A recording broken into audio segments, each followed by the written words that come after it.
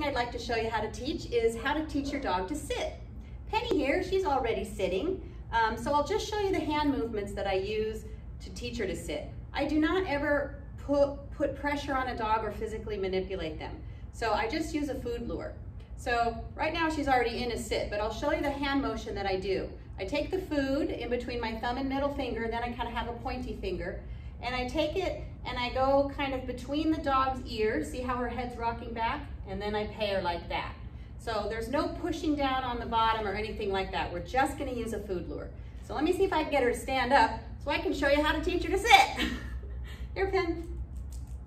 Sit, just like that. Wanna try it again, big girl? Over here. Here we go, Pen. And sit, just like that. No pain, no force, no fear.